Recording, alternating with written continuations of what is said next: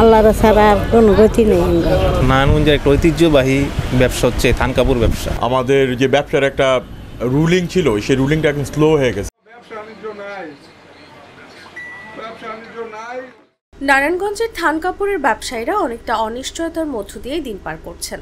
লাখ লাখ টাকা বিনিয়োগ করেও লাভের মুখ দেখছেন না। এমনকি ন্যূনতম বনিবাট্টা পর্যন্তও করতে পারছেন না অনেকে। অথচ একসময় প্রতিদিন কোটি টাকার বেচা কেনা হতো। সেই সঙ্গে সকাল থেকে রাত পর্যন্ত ব্যস্ত সময় পার করত মার্কেটের ব্যবসায়ী ও সাধারণ শ্রমিকরা।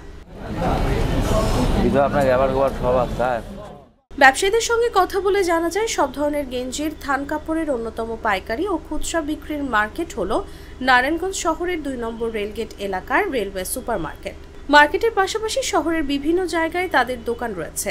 আগে এই ব্যবসা অল্প পুঁজিতে করা গেলেও এখন আর সেই অবস্থা নেই। যার ঘরে মাল নেই, সে ঘরেও কমপক্ষে দশ লাখ টাকার মাল থাকে। কিছুদিন ধরে যে সরকার পতনের পর থেকে আমাদের যে ব্যবসার একটা রুলিং ছিল, সেই রুলিংটা এখন স্লো হয়ে গেছে। কারণ আমরা একটা মাল পাইলে একটা মিডিয়া কাজ করতে পারে, একটা মিডিয়ার পর একটা লেবার কাজ করতে পারে, তো একটা চেইন অফ কমান্ডের মতো। আর গার্মেন্টস যেভাবে গার্মেন্টস মোটামুটি যেভাবে বিদ্রোহ চলতেছে, কলহ চলতেছে, তো ওরাও শিপমেন্ট দিতে পারতেছে না।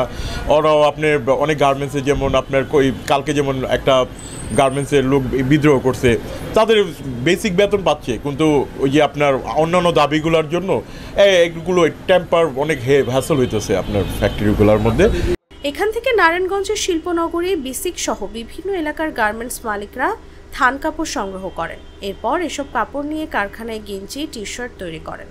পরে এসব পণ্য সৌদি আরব, দুবাই, মালয়েশিয়া ও ফিলিপাইন সহ বিশ্বের বিভিন্ন দেশে রপ্তানি করেন। নারায়ণগঞ্জের একটা ঐতিহ্যবাহী ব্যবসা হচ্ছে থান কাপড় ব্যবসা। এটা দীর্ঘদিন যাবৎ এখানে পরিচালিত হয়, দুই নম্বর রেলগেটে খুব প্রসিদ্ধ।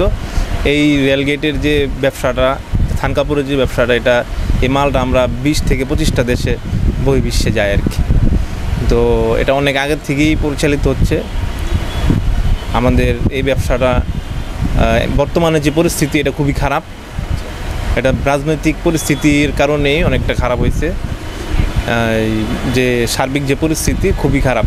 অনেকে ব্যবসা বাণিজ্য ছেড়ে দেওয়ার চিন্তা ভাবনা করতেছে এবং অনেকে ছেড়েও দিচ্ছে আগে ব্যবসায়ীরা যেখানে দিনে চল্লিশ থেকে পঞ্চাশ হাজার পাউন্ড মাল বিক্রি করতেন, সেখানে এখন মাসে চার থেকে পাঁচ হাজার পাউন্ড মালও বিক্রি করতে পারছেন না। এতে ব্যবসায়ী ও তাদের অধীনে থাকা শ্রমিকরা বিপাকে পড়েছেন। অনেক শ্রমিকের যাতায়াতের খরচও পর্যন্ত উঠছে না। এদিকে আমরা থান কাপড় বাজাই, কাম নাই দিকে বসে রয়েছি। এই করোনা করোনা হয়েছে তেতে নেই এই অবস্থায়। এই যে কাম একশো টাকার করি, পঞ্চাশ টাকার করি। এই রকম এই কথা কয় কি মায়ের কেমন? চলে না তো কোনো মতো না চলন লাগে বাইরে দিকে কি করব কাম নাই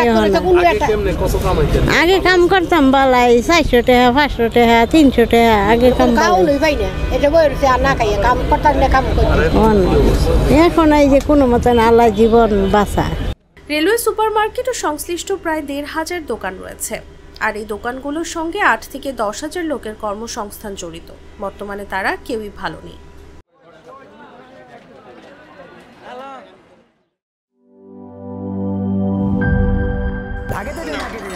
বলছিলাম না সস্তা তিন অবস্থা? এবার বুঝো ঠালা ভালো টিউবওয়েল যে কেন কেন না?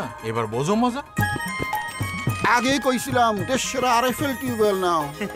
এবার আর ভুল নাই। আর ফেল ছাড়া উপায় নাই। অল্প চাপে বেশি পানির জন্য আর এফ